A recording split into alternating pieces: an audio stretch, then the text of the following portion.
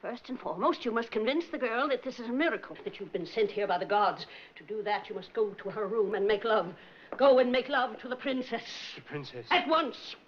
Wait, not like that.